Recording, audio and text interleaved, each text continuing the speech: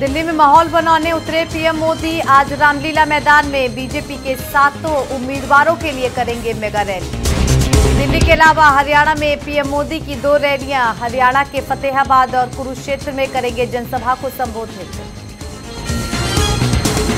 Mission Bhopal पर अमित शाह, साध्वी प्रज्ञा ठाकुर के लिए करेंगे रोड शो, प्रज्ञा के लिए मांगेंगे वोट।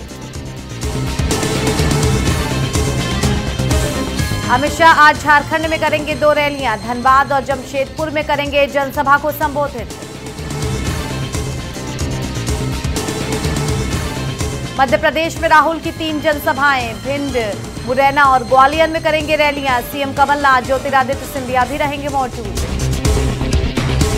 आज दिल्ली के दंगल में रहेंगी प्रियंका, नॉर्थ ईस्ट और साउथ दिल्ली में भी करेंगी रोड शो, कांग्रेस प्रत्याशियों के लिए करेंगी प्रचार। आज गोरखपुर और वाराणसी दौरे पर सीएम योगी बूथ स्तरीय कार्यकर्ताओं को करेंगे संबोधित।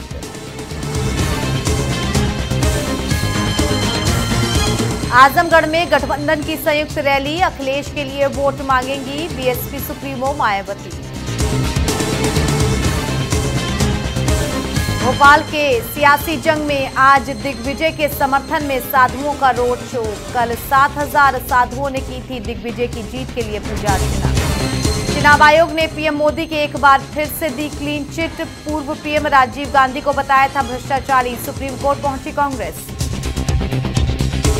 लोकसभा चुनाव में दुर्योधन की एंट्री। प्रियंका गांधी ने पीएम मोदी से की दुर्योधन की तुलना।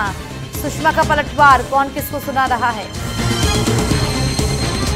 बंगाल के मेदिनीपुर में शाह ने मंच से लगाए जय श्री राम के नारे। कहा, दीदी, आपसे जो बन पड़ता है कर लो। अरुण जेटली ने कांग्रेस पर कसा तंज कहा, रोते हुए बच्चे की तरह बर्ताव न करे कांग्रेस बार बार आचार संहिता उल्लंघन की ही रट लगा रखी है। भदोई में गठबंधन की संयुक्त रैली, बीजेपी पर जमकर साधा निशाना, पाँच चरणों के बाद बीजेपी के होश उड़े। गाजीपुर में डिप्टी सीएम केशव प्रसाद मौर्य ने जनसभा को किया संबोधित, विपक्षी दलों पर जमकर किया हमला। प्रतापगढ़ में अनुप्रिया पटेल ने चुनावी रैली को संबोधित किया। बीजेपी प्रत्याशी के समर्थन में मांगे वोट। प्रयागराज में कांग्रेस नेता संजय निरुपम का बयान, मोदी लहर का हो चुका है अंत, कांग्रेस की जीत पक्की।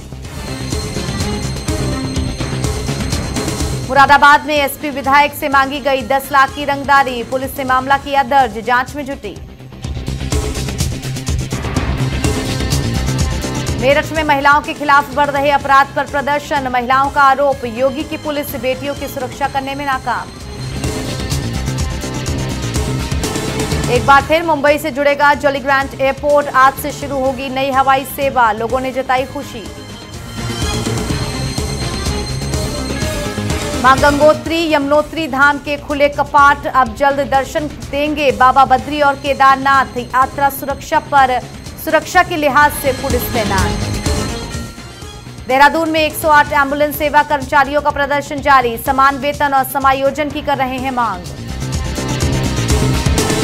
लक्सर में मजिस्ट्रेट की कार्रवाई से व्यापारियों में हरकम भारी मात्रा में पॉलिथिन बैग बरामद। व्यापारियों का काटा चालान।